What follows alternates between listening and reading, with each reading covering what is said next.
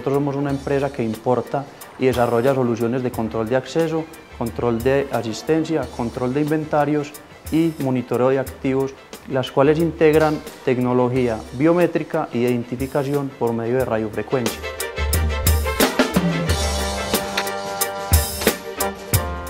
La palabra biometría viene de la definición bio, que significa vida, y metrón, que significa medida.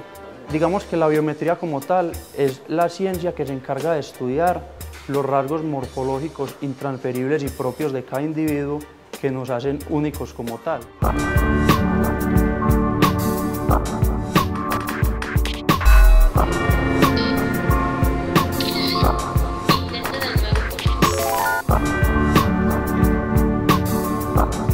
Los controladores de acceso son dispositivos de reconocimiento biométrico que pueden ser eh, de huella dactilar, como este que tenemos acá, o de reconocimiento facial, como este.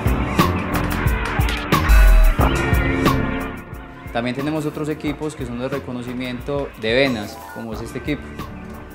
A diferencia de los otros equipos que aquí estaría agregando yo es la huella, ¿cierto? La huella digital. En este equipo yo lo que haría sería agregar las venas del dedo. ¿Sí? Por ejemplo, aquí cuando yo pongo el dedo, entonces él, él identifica si mis venas son las que co- corresponden a las mismas venas cuando yo hice mi enrolamiento. Todos los equipos vienen con diferentes métodos de lectura o identificación. Por ejemplo, eh, este equipo tiene varios métodos de identificación, como es clave, yo puedo identificarme con una clave eh, o me puedo identificar con la huella o también con la tarjeta.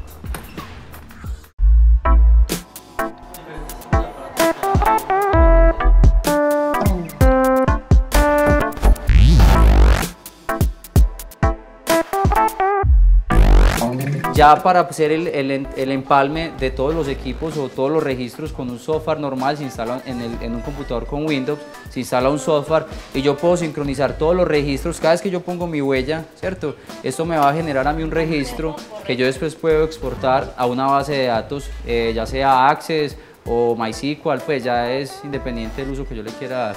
Anteriormente pensábamos que la biometría era algo muy futurista, o de pronto muchos pensamos que la biometría es algo que no es asequible, que es muy costosa. Aquí en la empresa, ¿cierto? Yo llego, no tengo que esperar a que nadie me abra porque yo estoy autorizado, entonces pongo mi huella y la puerta ya me da el acceso porque yo soy una persona que labora acá y como tal puedo tener acceso a la empresa. Aquí vimos como yo llegué, no tuve que avisarle a nadie, ni me tuve que esperar a que me abrieran, simplemente puse mi huella y se me abrió la puerta. Aquí cuando vamos a ingresar, vamos a ver uno de los principales sistemas que nos permiten ahorrarnos costos y volver más eficiente la empresa. Esto es un control de asistencia, por ejemplo, ¿qué nos ahorra a nosotros? O sea, yo soy el único que puedo marcar mi asistencia a esa hora, ¿cierto?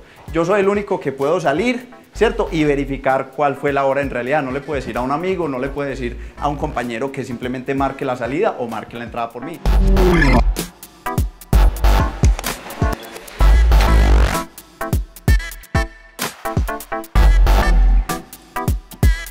hay muchas formas de generar la barrera física o de impedir el paso, ¿cierto? Entonces lo que hace el dispositivo es nos identifica a la persona y nos da el, el sí o el no de si esa persona está o no autorizada. Entonces, cuando ese dispositivo identifica a la persona y de hecho la persona está autorizada, le manda una señal a esa barrera física.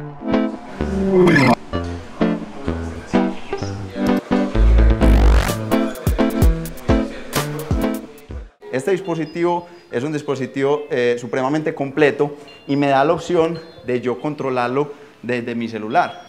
Ingreso a una aplicación y le abro la puerta. Como vamos a ver, ya me dio el acceso y pude entrar. El objetivo de nosotros es mostrarle a las personas que es una tecnología que es muy viable, que es una tecnología que es supremamente práctica y segura y nos va a ayudar a aportar un poquito de tecnología y de modernidad pues también a, los, a todos nuestros ambientes de trabajo y de vivienda.